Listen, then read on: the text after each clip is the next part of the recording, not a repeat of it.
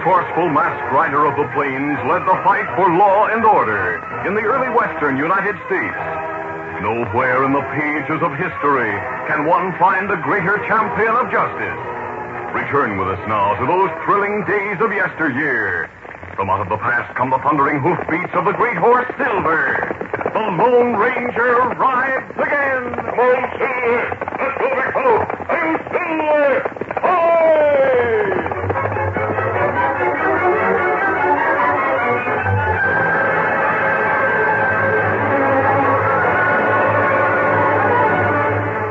Making the rounds of the Cactus City business district, Smiley Phillips, a reporter for the Daily Star, turned in at a door bearing a sign which read, Cassius Holt, attorney at law. The fixed smile which had given the newspaper man his name widened as Holt, a small, dour-faced man, waved him into a chair beside the roll-top desk. Sit down, Smiley. I was about to send for you. Then I suppose you want a story kept out of the paper, no? I have some surprising news for you. Of course, I shouldn't tell it. To do so makes me guilty of a breach of professional ethics. You've been guilty of a lot of things. You weren't disbarred from the practice of law in the East for nothing. and you weren't fired from a New York paper for nothing except blackmail. yeah, we've been over that before. Now, spill your secret. Last night, I drew a will for your boss, Colonel Mitchell. Well, he has no relatives, so where will his property go? To you? Me? Oh, Cash, this is great. The star alone is worth a lot of money, but. Oh, wait. Colonel has have to live for another 20 or 30 years in spite of the fact he was shot through the chest during the Civil War. Hasn't it occurred to you that his life could be uh, shortened? Yes, but as his heir, I'd be suspected of murdering him. Sheriff Hubbard would jail me quicker than you can say habeas corpus. Smiley, I've done a lot of thinking about that will. It presents opportunities for both of us. How do you figure it? My safe is filled with blackmailing material. Nearly every rich rancher and mining man around here has a skeleton in his closet. The cattle kings got their start as rustlers. The mine operators were claim jumpers, and some were killers. Still watch it. Once the Daily Star is yours, we can use it to blackmail them out of hundreds of thousands of dollars. We couldn't get away with that or anything else as long as Newt Hubbard is sheriff. I've thought up a scheme that will eliminate him and Colonel Mitchell at the same time. By working things right, we can put the sheriff in a position where he'll have to shoot the colonel.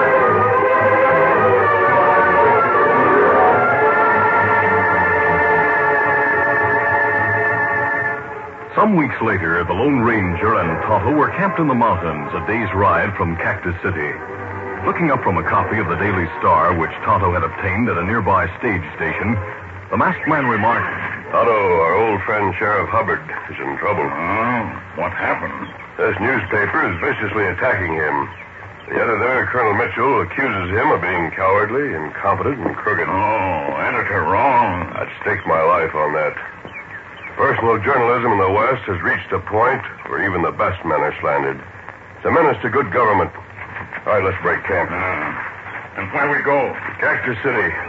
We helped Sheriff Hubbard once. Perhaps we can help him again. As the Lone Ranger and Tonto prepared for the trip, Smiley Phillips squeezed into Sheriff Hubbard's office. Hi, Sheriff. The lawman greeted him affably. Howdy, Smiley. Take your weight off your feet. Oh, thanks, Sheriff. You know, I can't understand why you allow a reporter for the Star to come into your office. Oh, shucks, Smiley. I'm an understanding sort. I don't blame you for what Colonel Mitchell writes about me. I know your job is just getting news about shootings and such. I I hate to tell you this, but in today's paper, the colonel will have an editorial claiming that you stuffed the ballot boxes in order to get elected. Why? No, I won't go in for name calling. Sheriff has to expect abuse.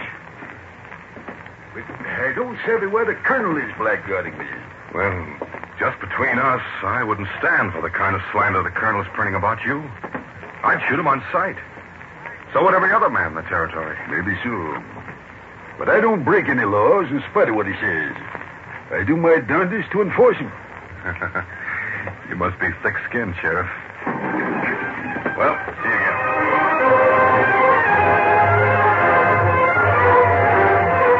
see you again. A few minutes later, Smiley was in conference with Colonel Mitchell, an ex-army officer of reckless courage but poor judgment, who had put aside the sword for the pen.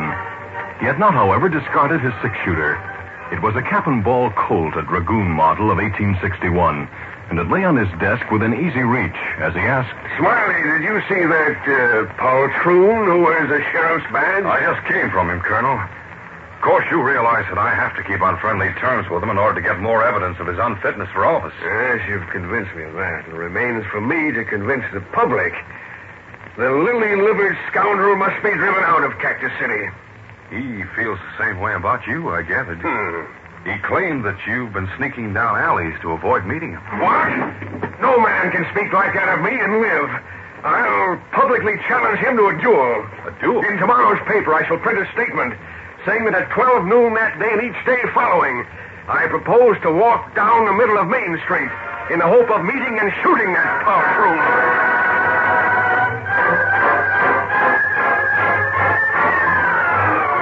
While Colonel Mitchell raked the English language for the high-flown phrases popular in that day, Smiley hurried to Cassius Holt's law office. Bursting in upon his fellow plotter, he exclaimed, Cash, it worked out just as you planned. I told you it would. The colonel is going to force the sheriff's hand by challenging him to a duel on Main Street. Excellent. Will the colonel be armed with his cap and ball revolver as I anticipated? Well, naturally. Now, but look here. That gun is reliable and accurate. I've seen him use it to shoot the flame from a candle at 50 feet. You know, there's a good chance that he'll kill the sheriff instead of getting killed. I thought of that. I want you to spike his gun. Spike it. How? He doesn't carry it in a holster, so you ought to be able to get hold of it before he leaves the Star office. Oh, I can do that. Then what? Drive cactus spines into the six nipples on which the percussion caps fit. That will keep the caps from touching off the powder charges in the cylinder chambers. And make him a perfect setup for the sheriff. Cash, you think of everything. Indeed, I do, Smiley. Right now, I'm thinking of a way to keep you from double crossing me. Why, I wouldn't do that. I don't trust you. You smile too much.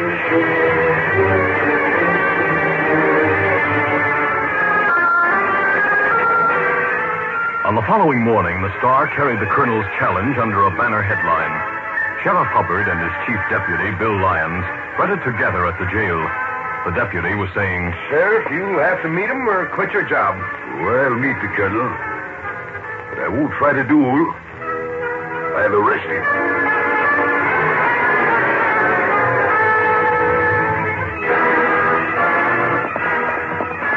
Lacked but a few minutes of being noon when the Lone Ranger and Tonto rode up to the crest of a high hill overlooking Cactus City. There they drew rein. Unaware that Colonel Mitchell's editorial attacks on the sheriff had reached a climax that threatened gunplay, they gazed down on the town. Tonto pointed. Place looked plenty quiet. Yes, too quiet. There isn't a man on the sidewalks or a horse at the hitch racks. Kimasabi, me see people. But them all look out of doors, windows, round corners of buildings. They seem to be expecting trouble. Ah. And what we do?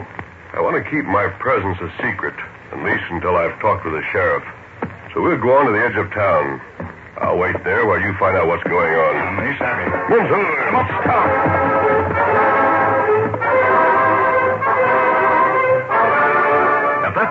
Colonel Mitchell entered his office and found Smiley waiting beside the editorial desk. Picking up his gun, he looked at the shiny new priming caps.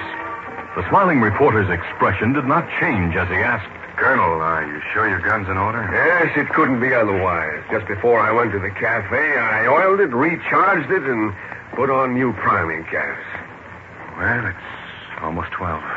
Give me your hand, my boy. I uh, have a secret. No, no, I won't tell it now. But if it should happen that I don't return, I want you to remain true to the tradition of fearless journalism. Be a scourge of evildoers. Now, goodbye. Goodbye, Colonel. Believe me, my heart and soul are in your gun today.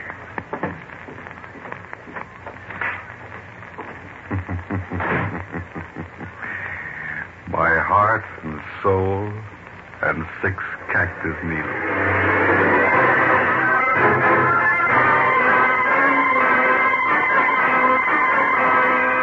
Meanwhile, the sheriff had stationed himself in the center of the street a block away. He stood with his legs wide apart, his hands hanging loosely at his sides. His one gun was holstered. Seeing the colonel emerge from the Star building, he called to his chief deputy who had posted himself on the walk nearby. Stay out of this, Bill. It's my job. Right, but don't give him more than an even break. From places of safety, hundreds of townspeople watched with bated breaths. The deathly silence was broken only by the sound of the colonel's footsteps. He advanced on the sheriff with the measured tread of a soldier, holding himself proudly erect. His gun hung barrel down from his right hand. As the distance between the two men shrank to 20 paces, the colonel paused and called. Draw your gun, Hubbard. Drop yours. You're under arrest. Oh, what? Disturbing the peace. You can't hide behind your badge, you craven reprobate. When I reach the stone in front of you, I shall fire. As the colonel continued his fateful march, the sheriff slipped his gun from its holster, but did not raise it. Again, the challenger stopped. Up with your gun. I'm firing. As he spoke, the colonel aimed and triggered his long barreled army Colt. The hammer fell. Only the percussion cap exploded. The colonel's face was red with fury as he growled. Miss fire. Don't try that again. Now give me your gun. Never. I'm sorry, Colonel. You had two chances. All right, get up. You're not badly hurt. Hey, Doc. Doc Harlow. The rest of you people stand back. As the sheriff kept the crowd back, Doc Harlow knelt beside the fallen man. Taking off his tall hat, he uncoiled the stethoscope which he always carried in it. After applying the instrument to the colonel's breast for a short time, he pronounced, This man is dead. Why, Doc, that can't be. I aimed at the colonel's shoulder. You've made a mistake. He's alive. Well, if he's alive, so is Julius Caesar. Here, some of you fellas. Put him on a shutter and carry him to my office. I'll take the colonel's gun. I want yours too, Sheriff. Megan? What for? I'm the coroner, remember? All right. Dig it. Being coroner, it's my legal right and duty to hold you for the inquest. Sheriff, you're under arrest.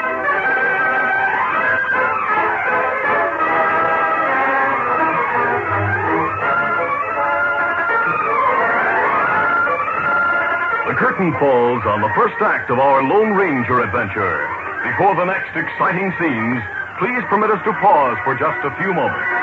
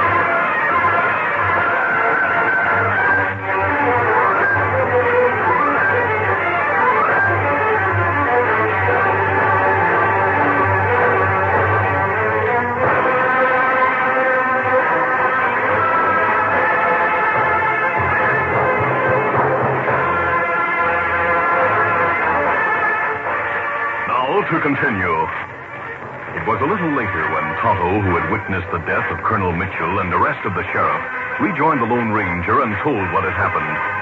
Meanwhile, the ever smiling reporter had gone to Cash Holt's law office to discuss the next steps in their plot. He was saying, The coroner has the colonel's gun. Even if he finds that it was Spike, the sheriff will get the blame. I agree. And now let's get that will probated. No, you don't want to draw public attention to yourself yet. Well, I've got to keep the paper going. The most capable man on the staff, you'll be expected to do that. Pending administration of the estate. Then I'll take charge and get out a special edition. Uh, by the way, Smiley, you're in a position now where you need a gun handy. You know, I've always thought it's smarter to pack a grin than a gun. It's more disarming. You can't work a blackmail scheme in the West without more protection than that.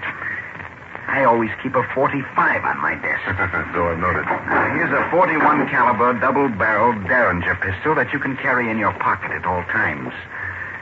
I'm making you a present of it. Thanks.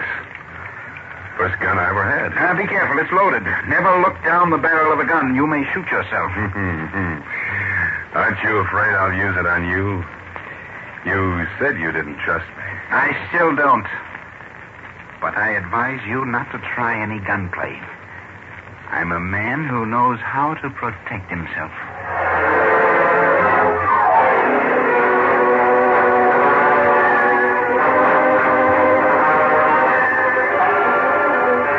That night, the sheriff and his chief deputy, in whose custody he had been placed, sat at a table in the jail office.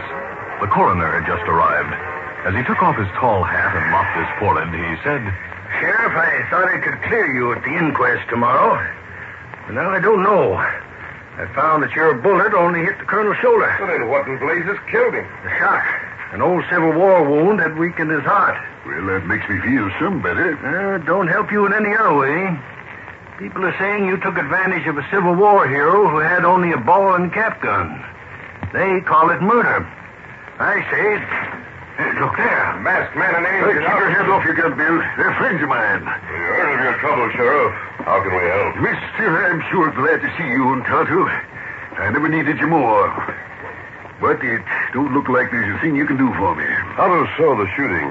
He says you let Colonel Mitchell snap his gun at you before you fired. I did. But I couldn't take another chance when his gun not firing. I reckon he had some old priming caps on it. Isn't like an ex-officer to put old caps on a gun he expected to use in a duel. Oh, uh, where's the gun? Right here on the table. We're holding it for the inquest. May I see it? Go ahead. Here you are. This gun's in excellent condition. The copper caps are as bright as any that just came out of a box. What are you what are you doing? Cutting the cylinder and taking off the caps. Hmm.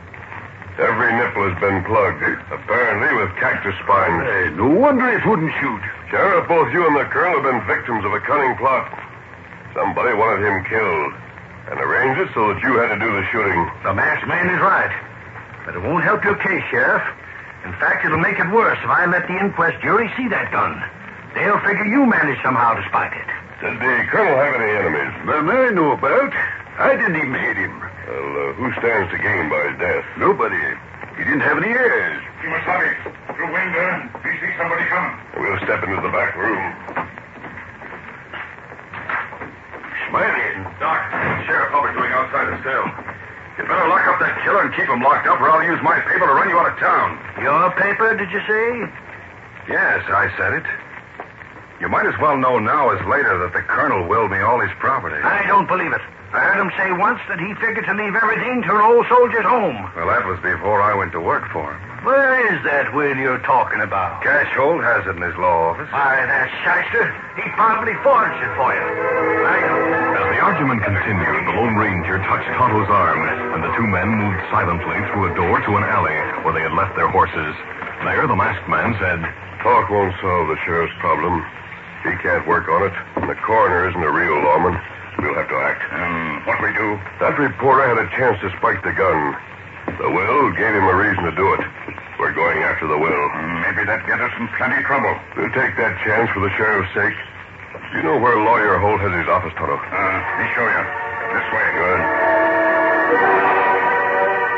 A few minutes later, the greedy little lawyer was roused from a dream of power and plunder by a knock on his door. Expecting a visit from Smiley, he unlocked and opened it. Then he backed over to his desk with a gasp. A masked man. Steady, Holt. We're here on business. Not you and that Indian. You were hired to kill me, and I know who hired you. Why, he'll hang for it. I fix it so he will. We won't harm you. All we want you to do is show us Colonel Mitchell's will. Of course you want the will for that double crosser. What double crosser? You know as well as I do. As he spoke, the lawyer slid one of his hands into the litter of papers on his desk. Then it snaked out with a gun that had lain concealed there. Leaping upon him, Cottle forced the gun upward just as the hammer fell. Plaster showered down on the struggling men. Holt was shrieking. For me, break your arm. Don't twist it anymore. I'll be quiet. I've taken his gun, Tonto. Let go of it. Oh. You let go.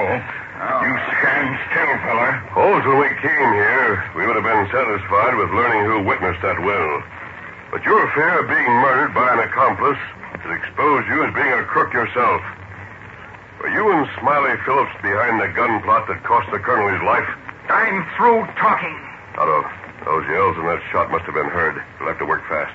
Search him for the key to his safe. Oh, time, Sawyer. You'll pay for this. Uh, uh, him got something on string round neck. Little bag with paper in it. A key in paper. Good. Give me the key. Uh, you take it. Me look at paper. Put that back, you redskin. Put it back there. Let him grab paper. Try swallow it. me got it back. That's that important to him. I want to see it. Uh, you take it.